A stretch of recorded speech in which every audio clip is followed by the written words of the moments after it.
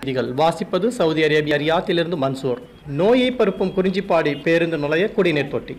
குறிஞ்சிப்பாடி அரசு பேருந்து நிலையத்தில் பொதுமக்கள் பயன்பாட்டிற்காக வைக்கப்பட்ட குடிநீர் தொட்டி நீண்ட நாட்களாக சுத்தம் செய்யாத அவல நிலை. பள்ளி குழந்தைகள் மற்றும் பயணிகள் என ஏராளமானோர் வந்து செல்லும் அரசு பேருந்து வளாகத்தில் பொதுமக்கள் குடிக்க தூய்மையோட தண்ணீர் இல்லாத நிலையில் வேறு வழி இல்லாமல் மாசுபடிந்து மஞ்சள் நிறத்தில் தேங்கி நிற்கும் குடிநீரை தான் நாங்கள் நீண்ட நாட்களாக குடித்து வருகிறோம் என்று மாணவர்கள் கூறி வரும் நிலையில் குறிஞ்சிப்பாடி பேரூராட்சி நிர்வாக அலட்சியத்தால் இங்கு தாகத்திற்கு தண்ணீர் குடித்தால் நோய் தொற்று அபாயம் உள்ளதாக பொதுமக்கள் ஒரு புறம் கூறி வருகின்றனர்.